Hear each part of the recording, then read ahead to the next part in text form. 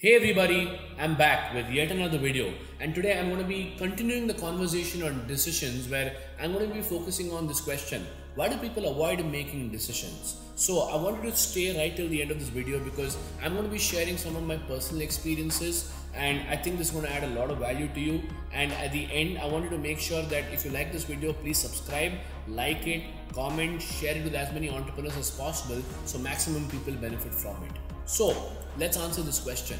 Why do people avoid making decisions? I'll tell you the answer straight away. Because decisions gets them outside their comfort zone. Think about it. You know, every decision you make dictates the direction of your life. I've said this even before. And there are certain decisions which you make takes you towards your goal and certain decisions takes you away from your goal.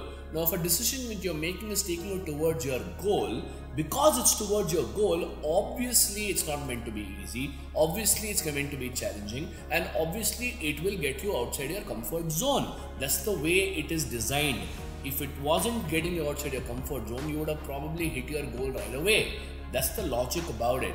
But here's the honest truth human beings hate making decisions. Why? Because decisions, like I said before, gets them outside their comfort zone, and a human being's brain is designed to keep you in your comfort zone. So the brain will give you multiple reasons, justifications, which are extremely valid, logical, and emotional in nature to stop you from getting outside your comfort zone. That's basically how it works. But unfortunately, that's not how decisions are made. And getting out of your comfort zone is very critical for it to be successful. Let me share an experience I had where I had to make a decision which got me outside my comfort zone. You know, I started Quantum Leap in the year 2006 2007 along with my business partners Rajiv and Pranav.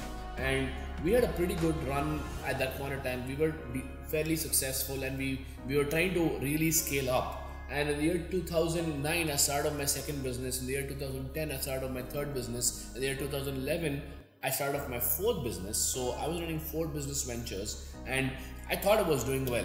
Okay, because you know I was making a decent amount of revenue, we had a decent amount of clients, but bottom line, was I making any money? No. It was like I was running four jobs and it wasn't achieving the objectives I had for myself for being a serial entrepreneur. I had no time, I had no money, and at the end of the day, I was going in circles. And the year 2012, the biggest debacle of my life happened where I lost two of my business ventures. They went bust, and I found myself into a 45 lakh rupee debt and a 70 lakh rupee loss. And honestly, it was probably the biggest breakdown I've ever had so far, and uh, it shook me completely. And from 2012 to 2014, I was searching for what is the answer which will give me the solution to my problem. How do I get out?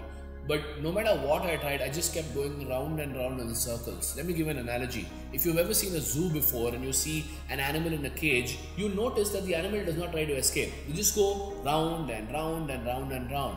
Why? Because they know that's their life, that's their limitation. They're not gonna try to get outside their comfort zone and try to jump over the cage. Well, you know what? That was me. I had no clue what to do and I just kept going round and round and round and round. But 2014 October, a very interesting incident happened for me and my business partners, which really got us to question and get aware that we are in this comfort zone. And the only way out of this is for us to learn and fill in the gaps of the missing capabilities we had because of which we weren't successful. And we had to invest in our learning to upgrade ourselves. And at that point in time, we had no money. We were already in debt. But we took that decision to get outside our com- outside that comfort zone and invest in our learning. That decision cost me 40 lakh 67,000 rupees. A very, very, very outside my comfort zone please remember that I was in a 45 lakh rupee debt and a 70 lakh rupee loss. And most people would tell me that, I mean, what the hell is wrong with you? Are you crazy? Why would you do something like that? You rather invest it back in your business. But I was very clear that my track record before that uh, was not really supporting me. And if I would have invested in my business, that money would have gone down the drain. And was it outside my comfort zone? Yes. But hardcore, I made that decision because I knew for a fact that that's the only way for me to reach my goals and from 2014 to 2016 uh, we pulled this off. It was not easy. And we invested in our education upgraded ourselves. And today we are in 2020 and i'm running one of southeast asia's largest training and coaching companies handholding more than a thousand entrepreneurs across 180 domains uh, and train more than 5000 business owners how to scale up their business. And I look back and see is that one decision which I made in the year 2014 precisely, which got me where I am today because I decided to get outside my comfort zone. So the reason why I'm sharing this experience with you is because I want you to know that uh, the most, the biggest reason why business owners avoid making decisions is because of the comfort zone. But it's designed so that you get outside your comfort zone because that's when you're building muscle. I keep saying this to people. You know, when you go to the gym, you're going to exercise. It's going to hurt. There's no two ways about it. But it's hurting when it's paining, it's working because you're building the muscle to take on the world.